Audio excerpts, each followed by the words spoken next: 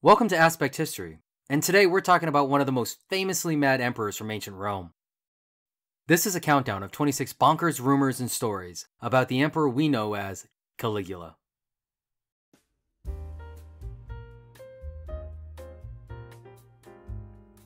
Just a quick background before we start. This is Caligula, emperor of Rome from 37 AD to his death in 41 AD. Most of the ridiculous things we're about to mention in this video are from documented historical sources. Many are half-truth propaganda, and others straight up fiction. Just a pre-warning here to take all of these with a pinch of salt, and check out our sources in the description. Let's count them down. 26. Caligula once caused a bread crisis because he was obsessed with selling things. According to Suetonius, Caligula sold the estates of his two sisters and all manner of highly valuable imperial items in private auctions. Transporting the sheer mass of goods required seizure of private vessels to carry them. A lot less grain got to Rome as a result. 25. One day, on a dry spell for criminals to execute in a gladiatorial show, Caligula ordered an entire section of the crowd be given to the wild beasts for entertainment.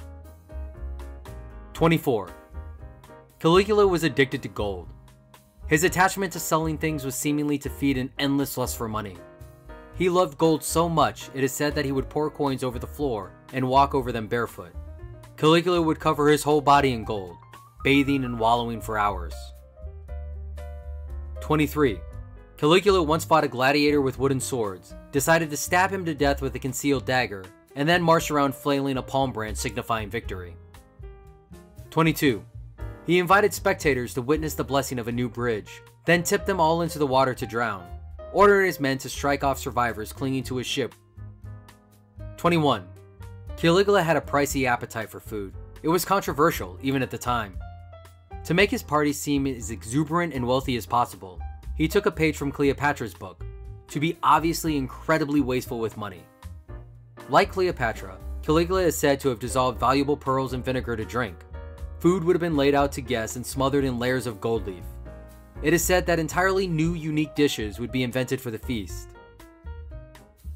20. Caligula made sure new regulations were written in tiny letters and hung in hard to see places, so that he could punish people who didn't know to follow them. 19. He drew back the canopies of the arena on hot days, and then forbade anyone from leaving. 18. Caligula built his favorite horse a marble house with exuberant luxuries like silk blankets and ivory stalls. He drank wine in his horse's name at banquets, often with his horse present in the dining room, and ordered it to be fed with gold flakes in its oats. 17. He commissioned a golden statue of himself inside a temple dedicated to himself to make himself a god. Suetonius notes that the statue was life-sized and redressed into whatever the emperor was wearing each day, Wealthy Romans were highly encouraged to give exotic offerings and sacrifices to the statue, including flamingos and peacocks. The statue was originally meant to be a statue of Zeus, taken from Greece, its face replaced with that of Caligula, but logistical issues arose. 16. He took the equipment away from elderly fighters and then pit them in battle against terrible predatory animals. 15. One story tells of him turning last second with a mallet during a sacrifice to kill the priest administering the sacrifice instead. 14. In one of Caligula's famous auctions, Praetor Antonius Saturnius accidentally paid the high price of 9 million sesterces for 13 gladiators. Caligula kept telling the auctioneer not to ignore the apparent bidding of this praetor, who had fallen asleep and was repeatedly nodding his head. 13. Caligula often shut the granaries just to starve people. 12. He placed gift vouchers on random seats of the amphitheaters to cause mayhem when common peasants were found invading the seats of seasoned soldiers. 11.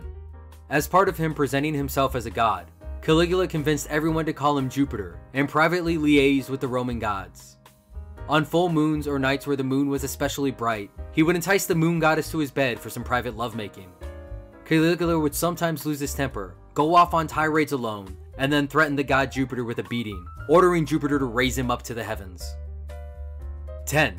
Caligula favored executions taking the form of many small cuts rather than a single merciful stroke. Two common phrases he apparently used were, let him feel like he is dying, and let them hate me, so long as they fear me. 9. He often considered torturing his fourth wife to find out why he was so in love with her. 8. He spent large amounts of money to build a colossal pontoon bridge across a bay in Naples to prove wrong an astrologer named Thrasyllus. Before he died, Thrasyllus predicted that Caligula would only become emperor after riding his horse across the Gulf of Baiae. This was what the bridge covered. Despite already being emperor at this stage, and the gesture being pointless to the dead Thrasyllus, Caligula got on his horse wearing Alexander the Great's breastplate and rode across the bay. 7.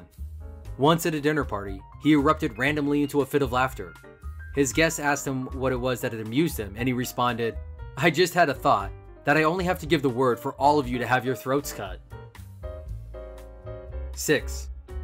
Caligula's actual name was Gaius, Caligula being a nickname given to him as a child.